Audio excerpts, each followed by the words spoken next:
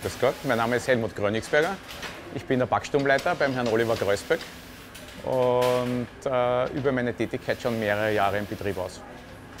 Meine Ausbildung begann in der Gastgewerbefachschule, äh, wo ich zuerst das Handwerk des Kochs erlernt habe und mich dann weitergebildet habe, eine Konditorlehre angeschlossen habe und nach einigen Stationen in der Gastronomie hier im Unternehmen gelandet bin.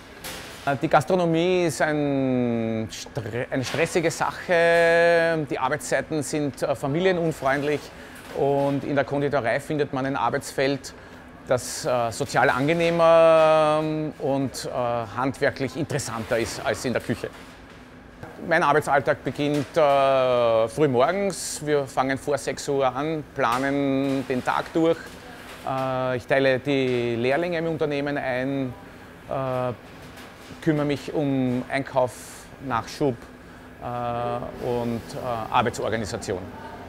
Das Konditorhandwerk ist äh, sehr faszinierend, weil die Abwechslung so groß ist. Nicht nur saisonal, wo wir von Nikolaus über Weihnachten bis zu den Osterhasen jegliche Festivitäten unterstützen. Es bietet auch eine Menge Abwechslung tagsüber in den unterschiedlichen Produktionsschritten. Im Konditorhandwerk, speziell hier im Unternehmen, ist die Abwechslung garantiert, weil wir permanent äh, neue junge Leute ausbilden äh, und das bringt immer frischen Wind, die neuen Gesichter.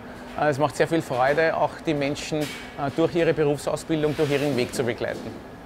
In diesem Betrieb wird handwerklich produziert und man kann ganz detailliert auf Kundenwünsche eingehen. Und das ist etwas, das andere nicht zu leisten imstande sind. Und da glaube ich, dass unser Konditorhandwerk hier im Unternehmen eine gute Zukunft hat.